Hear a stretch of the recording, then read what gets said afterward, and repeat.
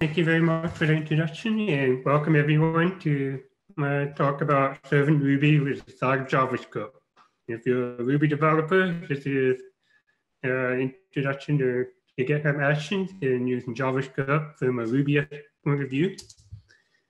Anything I say in this presentation could not influence your decision to invest in New Relic. So the safe harbor slide to let you know that. And my name is Michael Lang. I'm a senior software engineer at New Relic, and I work in the Ruby agent team. And I, I am currently a maintainer of what is now an open source project for the New Relic for the Ruby agent. And I'm also an open source contributor to many projects, and I'm a polyglot because I do Ruby, and I'm now doing JavaScript. I've done probably 15, 20, 30 languages over the years. I've lost count. I'm a father, husband, a tennis player, a volleyball player, and I do travel running and cooking, and anything I'm not programming, that's, that's where I'm at.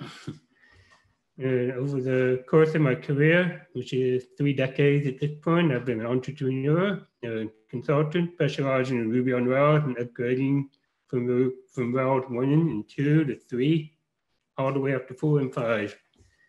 Uh, then CIO of American Building Company, uh, Director of IT, uh, Clinical Research Systems Builder, all using Ruby up to this point. By the time I get to the University of Georgia, I was a system administration running the system that runs hospitals in the vet, at the vet school. And many, many languages, many databases, too much to. Um, and in last but not least, I am almost deaf and what's called profound, severe profound hearing loss, which means without hearing aids, I pretty much hear nothing. and I'm a lip reader. This story I'm going to tell you about is about bringing Ruby, the Ruby agent into the open source arena and going from closed source, closed available to open source. In prior to open sourcing, we were running everything on Travis continuous integration in our internal system. We had Travis Enterprise. And it's not, per, not Ruby per se, it's just a Ruby view on running JavaScript. So you're going to see a lot more JavaScript than Ruby in this, this presentation. I'm going to show you why we chose GitHub Actions and JavaScript over the alternative available. And then I will show some examples of how we solve various issues along the way. And some of those solutions might be completely surprising to some of us that are coding Ruby all the time. So the Ruby, the New Relic Ruby agent, what is that? That is a Ruby gem for those of you who are not Rubyist in nature. It's just a package library of related functionality. And this agent is added into your application. You use typically a Rails application and it traces your model view controllers, trace stack, your middleware, all that. And it tracks the timing like the timing and memory usage and heap allocation, garbage collection, and other application performance data, and send them all up to the cloud to New Relic, where the where you can then see all that graphed out and see usage patterns and any kind of outliers, anything like that, that would be interested in debugging, figuring out how to make your application faster and more performant. And so um, what they present for us is that because we've had this Ruby on Rails, this Ruby agent for so many years, we have a lot of customers that are still on Rails 3 and 4, which are also on older versions of Ruby. You, you cannot move Rails and run on of Ruby very easily. And so we have to support all the way back to Ruby 2.0. So 2.0, 1.0, all the way to 2.7, and now with 3.0 coming out at Christmas, we'll be on Ruby 3.0 as well. Which means, by definition, our test matrix is very, very large because we have a lot of instrumentation that go along with all those movies. And that includes um, the database integration, the Rails integration, the, the backend jobs integration, all that. Yeah, a matrix it in Travis at the time that we were looking to move to GitHub Actions, we noticed there was 157 total jobs or containers all running in parallel. And we were burning 18 to 21 hours of CPU compute time for every single build. And that's between 1,000 and 1,300 minutes per build.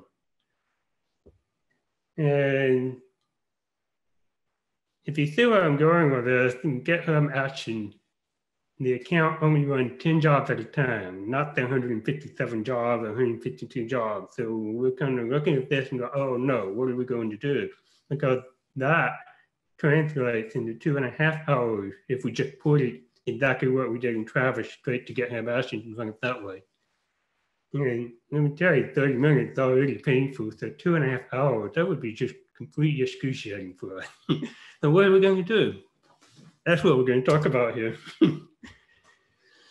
we wanted to use pre-built Ruby, but there was a problem. Ruby 2.0 and 2.4 at end of life.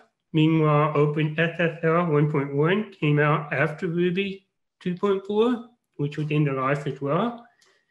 And OpenSSL 1.0 was end of life.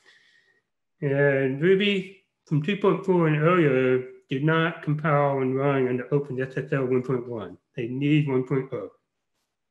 And that's because the OpenSSL 1.1 API changed just enough from 1.0 that the end of life Ruby no longer compile against that latest version. And so the first thing we did was look at all the GitHub actions that are out there that actually build and run Ruby. And one of the most well-maintained one comes from Ruby slash setup Ruby. And what we discovered is that even their old Ruby gems are broken, at least from our point of view. So take a grain of salt on that. It's not reflective on the quality of the work these guys are doing with the Ruby, setup Ruby. It just uh, it didn't work for us as expected, and we didn't know why. And it was becoming a rabbit hole to dig in and try to figure out all that. And the first hurdle we have to do is figure out how we're going to put all the Ruby. And that was something we needed to solve first, and that was where we put all our focus at the beginning. And just to show you an example of what we were running into with the OpenSSL library, this is an example of OpenSSL calling out an undefined symbol SSL version 2 method, which is just basically the difference that we are talking about with the APIs.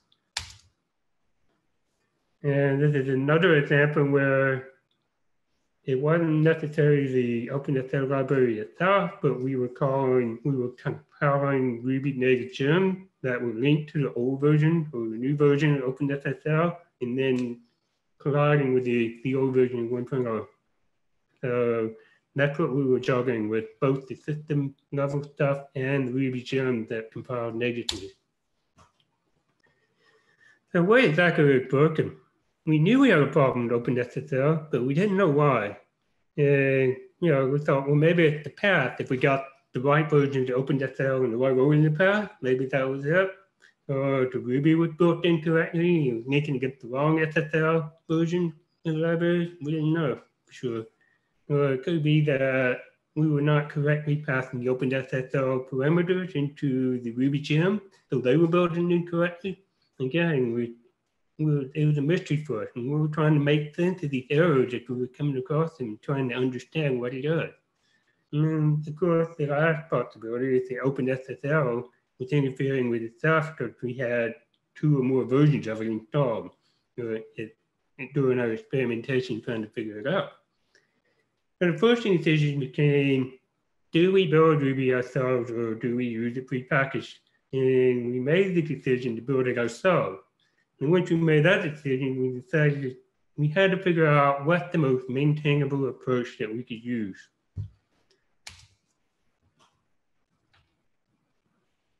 And so the first choice we had was working with all the public projects to hopefully get the first choice we had was working with all the public projects and hopefully getting the older version supported correctly. The problem with that is not knowing how long it would take it to accomplish something like that because you have to collaborate and you have to collaborate. It just adds a lot of time. And we were under the gun to get this done in 30 days or less. So because we were also new to the scene, we also had no influence or any clout whatsoever in any of these individual projects. And your New Relic probably coming in could probably bring some weight and get things going fast, but we didn't know. We didn't know how long. And even if we were able to get in and make some changes quickly, we knew and recognized that there's a steep learning curve to each one of these projects to figure out how they're structured, to figure out who who are the movers and shakers in the project and get things moving forward. That gave us choice number two, which is to become experts in building Ruby ourselves. And the time to accomplish that was relatively known because we build Ruby. We, we built it in the Travis CI, so we know how to build Ruby. And we would have full control of our environment. And by that, I mean, we could set up anything, we can compile anything, we set all the environment variables, whatever we need to do. And there's far less to learn to automate, simply because we already had a working continuous integration solution in Travis. Uh, the decision we chose was to become the experts ourselves at building all the Ruby. And it turned out to be the right decision because we're in complete control of our CI environment we're not beholden to the other maintainers of Ruby build action. So we didn't have to worry about them breaking things or us breaking their system or any, any kind of cross issues going on there. Once our environment built and set up and codified, that's it, it stays where it is. And we could fit both system level issues as well as Ruby compile issues. So whether we have to fit the system level, or we have to fit the gem level, or we have to fit the libraries, and so we have complete control. So that's what made this choice of this trial a good decision for us. And then our knowledge becomes 100% codified in our continuous integration process and script that we have set up and used. Uh, if you're familiar or with GitHub Action, there's basically three ways you can set things up. You can set up a Docker run image, run all your actions in the containers. You can set up you can do everything in the workflow, including all the bash scripting and everything you need, or you can write action scripts, which in this case would be JavaScript for us. And a, a natural inclination with the writer is low code is absolutely possible. And of course, we're looking at JavaScript and say, well, we're Ruby developers, we're Ruby developers, not really keen on learning JavaScript just to do something like this but being able to set up a Docker file, which is already, we already had copies and examples of from Travis containers that run, we thought this might be the easiest way to go. Because we can use the old Ubuntu images, images to run the old Ruby, we can use the new one to run the new one. Simple enough. and you pick up the right version, OpenSSL in both environments very easily. The challenge was how do you build and cache and reuse? Because if you don't cache them, you're going to be rebuilding the Docker images over and over and over, and that just adds a lot to the continuous integration time. And we were noticing that most other projects that were using Docker containers also built their Docker containers with a separate repositories. We didn't know if that was a word requirement or if we would need to replicate that, but it seemed like it was the right way to go because you don't want to change in your project messing with your Docker image. You're having to build a Docker image every time you you take a pull request in your project. and then it comes, how do you drive that? And we discovered after we set up the Docker image, if we wanted to drive a different value, varying circumstances, you have to set up environment and pass them around. You have to up an environment in your workflow, then you have to pass it into your script that the entry point to the Docker container. And then once you're inside the Docker container, you have to pick up those environment variables and do your conditional branching in there. Then we're looking at Docker containers and bash scripts and workers, the workflow scripts, all that was becoming a maintenance tool that we didn't want to have to deal with we didn't have to. And it also made everything in the workflow a lot less transparent what's going on because what happens inside that Docker container doesn't necessarily show up in your workflow, in the output in your workflow. So it was very, very limiting in transparency. Then we thought, well, how does it even work with port repositories and people making contributions to the to the the code? You know, they're going to have the same pains we have, or if they're making a change that is significant enough to require a new container, are they going to be able to set up the new container? we're, we're thinking, nope, not going to happen. uh, And then the final issue we saw was uh, the GitHub Actions themselves that make it so convenient to use GitHub Action. They're built from toolkits, and the toolkits are not automatic, automatically installed in these Docker containers. So suddenly we don't have all the tools we can use and play around with. And we have to build everything ourselves. So, so this one um, how do you control the Docker workflow effectively? This is everything I was just talking about. So I'm just going to summarize here. It's about setting the environment, ensuring they're all met, and that of course becomes the maintenance tool. And less transparent than running in the workflow, and you shut off and using the GitHub Action tool to publish in, into the marketplace. And once we saw this negative, we said no Docker. Not the way to do this. Second attempt, we wanted to build it all in the workflow. So this is kind of the traceable path. We say let's just get something built end to end. Let's build it as fast as you can. And the workflow file provided that because you can run bash scripts in there. You can do conditional.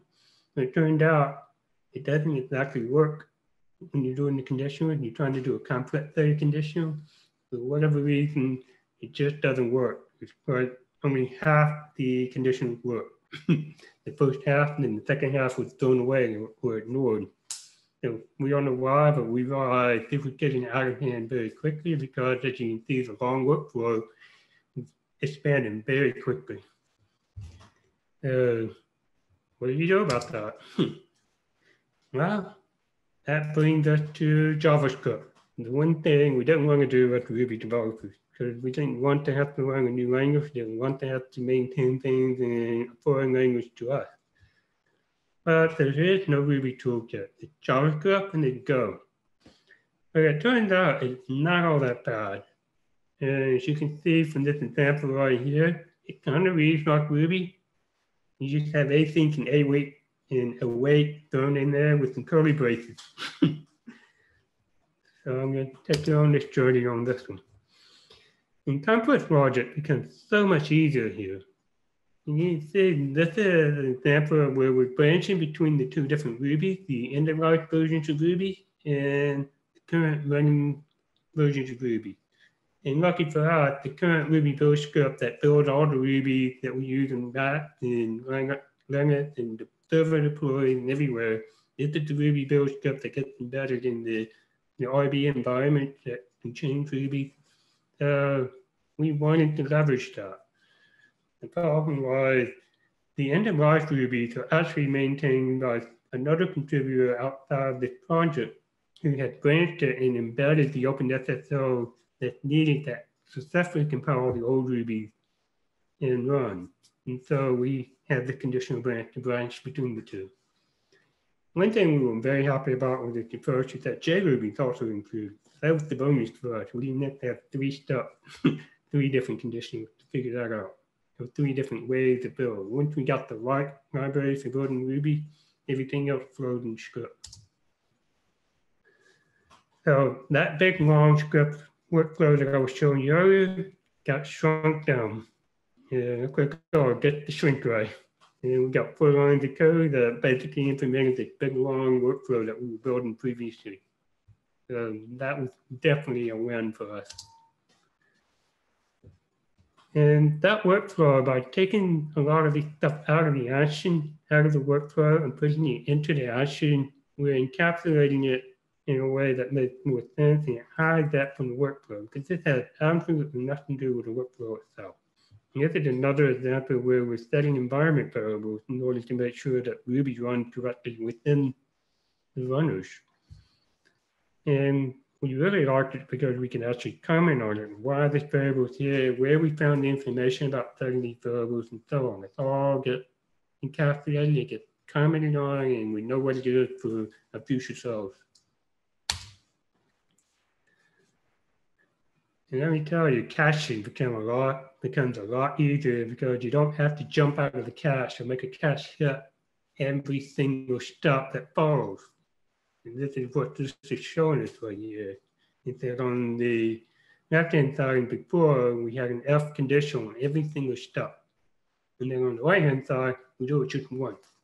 We check it, if it's there, we return. If it's not there, we go through and build it. Very simple. Uh, like I said, welcome to the promised land. JavaScript does this weird thing. It's just us Ruby, they start async and await and this is how they use it. You got async function, upgrade Ruby gem, and then somewhere in the gem you may call out to another async function. If you want to wait on it, you want to block on it, basically wait until it completes. You have to call it await before. And to resolve those promises, you use this construct called then. And you pass in the result of the, the promise into the then block, and then you can set your variable from there. And this is just a very simple example showing us getting the Ruby gem version from the environment and setting it into a string variable so that we can then do our computation from that. So here's what one of the tricky things for me. It took me two or three days to figure this out because it was my first exposure to async and with await and trying to figure out exactly what's going on with, with making a command call out to the environment and getting back a result. And it turns out that execute returns the exit code of the command and not the result, which is what Ruby do. And so the way you do this one is you set up some callbacks. And that's what the options listeners callback. We divide the standard out and standard errors have their own callback and listen. And we can we concatenate the strings while it's running.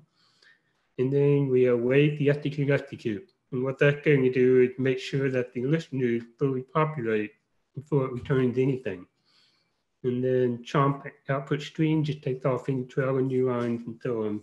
So yeah, just the string, and in our case, in the previous example, the version string for this gem. So now we're getting to the moment where writing the JavaScript actually become worth it. And that's what I'm going to take you through now.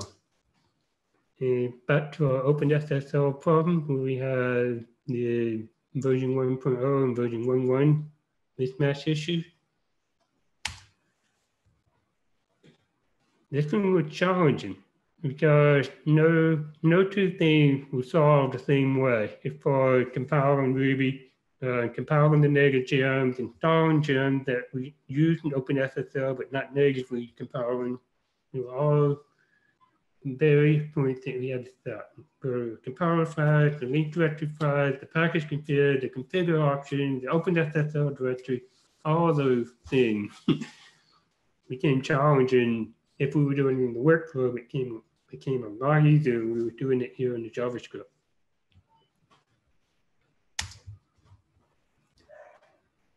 And one in particular was the MySQL gem.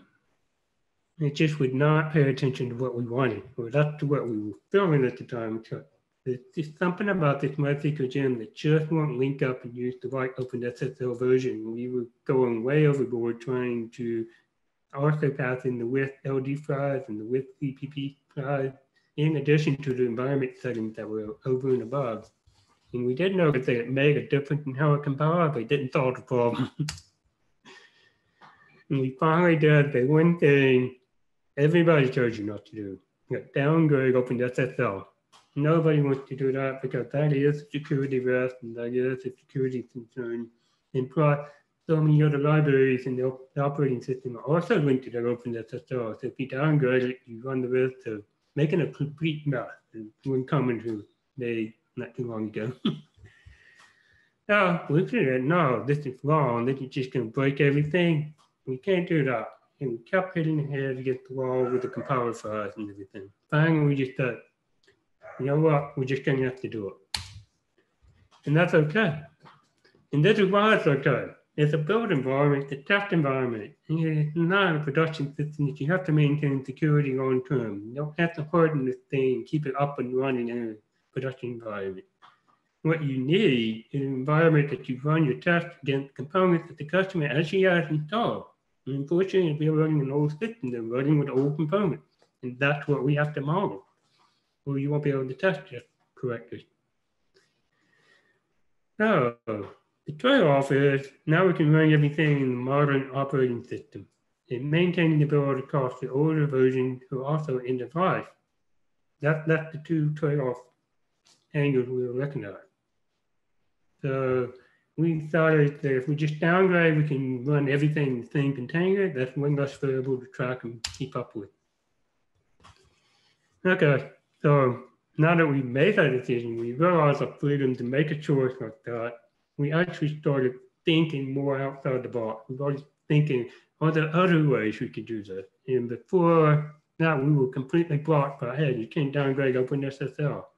Therefore, you can't downgrade anything. this was cartoon of really are because when I asked you to think outside that box, I forgot to ask you to think inside this one. I'm kind of to know at this, this point. But it gives you the freedom, at least the better ideas, at least thinking about the problem in more ways than you, you thought of before. If we can't download OpenSSL, maybe we can download the specific component that gives us the problem, and that's what happened. We downloaded the MySQL current library, and lo and behold, that worked. We were very happy with that. and flip back over to the JavaScript story. This is an example of how we downloaded MySQL. And this is a great example of how you can do something in parallel with JavaScript and then serialize what comes after. And remember, every async function returns a promise. So we collected the promise and then we resolve all promises. And then finally we do a serial install from that. And that's how you can mix and match parallel and serial installs. And finally, we have all our Rubies from 2.0 to 2.7 in JRuby. And this is what it looks like for the build Ruby script. Very simple, very clean. And we can finally start working on our workflow.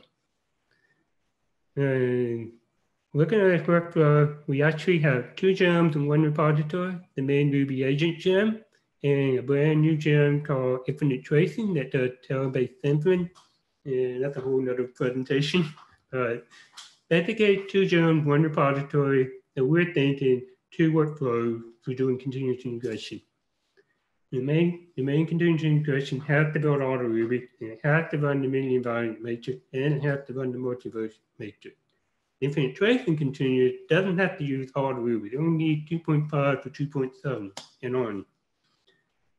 But if you had it all in one one workflow, we knew that we can build all the Rubies all the time. So we were kind of like, do we really need all of them?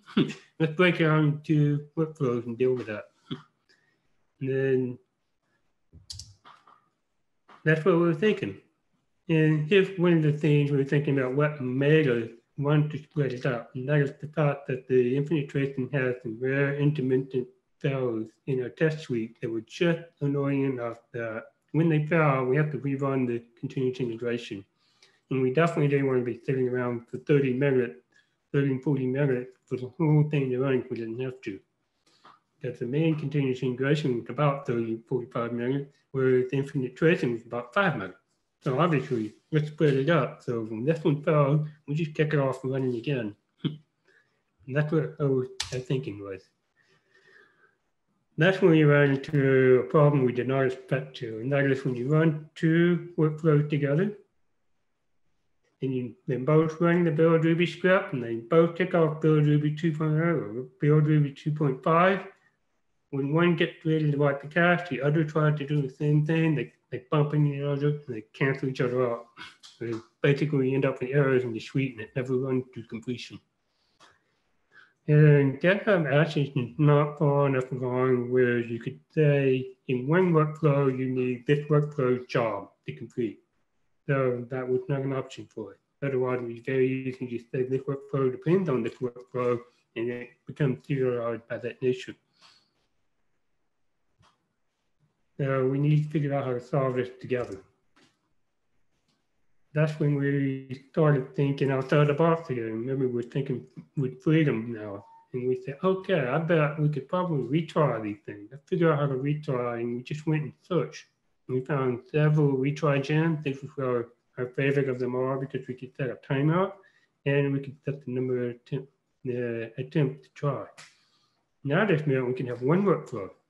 And one retry strategy covered all the scenarios we were worried about.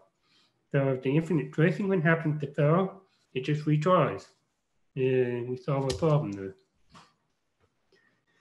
And now this is a resulting workflow all in one file. Build Ruby at the top, we have, you see the mini environment in multiverse, we have build Ruby, and build Ruby is a need, and it runs under Ubuntu latest, so we only have one running environment, yeah, happy dance. And that uh, the next thing, which is caching. You know, talk a little bit about this too, because almost all the documentation that you see for GitHub talked about caching in the workflow and not in a JavaScript action. And as you can see, I've got two places here in the green boxes where we're caching essentially. And that is with Ruby itself, and then with the bundle install with the gem that are needed to run in the test.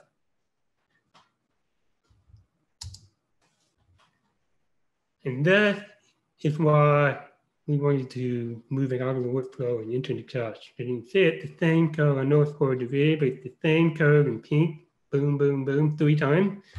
By moving it out of the workflow into the JavaScript action, we can eliminate all that code. And that's a big win.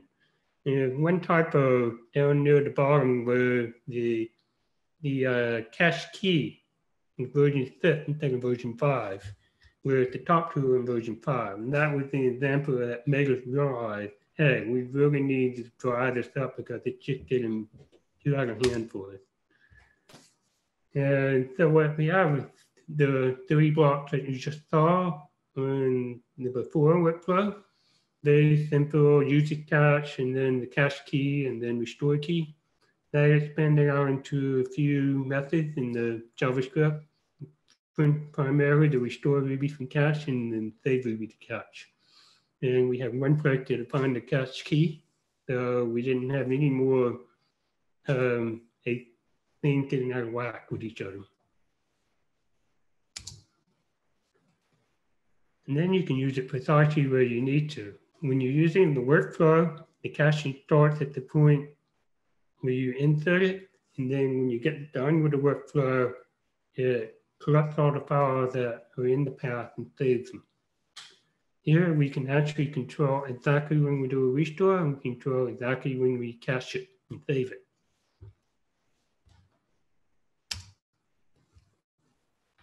This also meant that we could have two caches, one for the Ruby itself and one for the bundle gems that we do.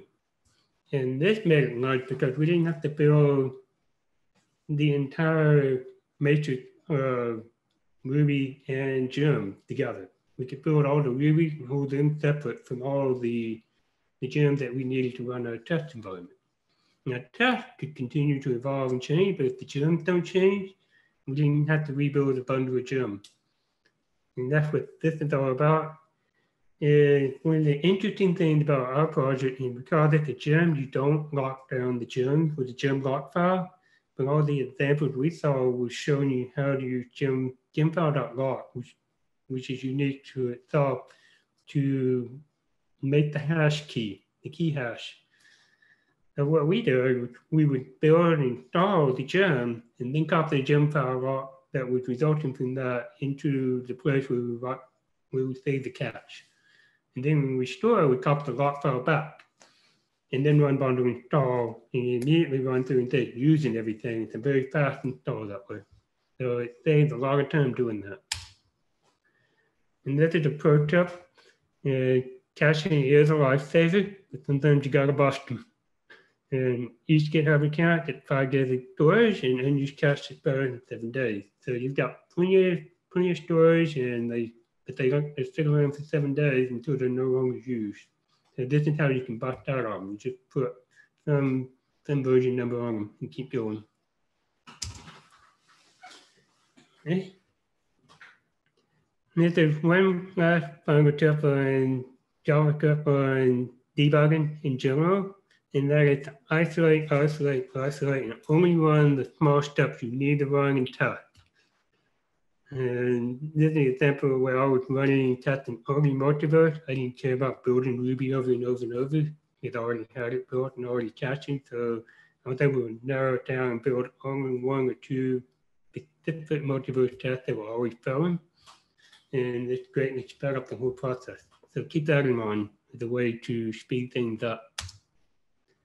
So we get down to the last bit, and that is was it? 'Cause that's what everyone wants to know. and when we started, if we did not do the Ruby caching, we built it every single time. It would take about eight minutes to build each and every one of the Ruby version. So cache by doing the caching of Ruby, we got it down to one minute and one second on average. so that would definitely worth it. But still, every single continuous integration, you have to to um, restore that Ruby from cache and it's taken over a minute to do so. And we started looking at why they're taking a whole minute to restore a cache. It actually wasn't just restoring the cache. We were also restoring the entire environment. We were setting up the environment as though we were going to test. And we realized that if you're just building, you don't need that entire test environment set up every time. All we need to do is see if we can restore the cache, which only takes about five seconds. So yeah, we, we got a major win there by doing that.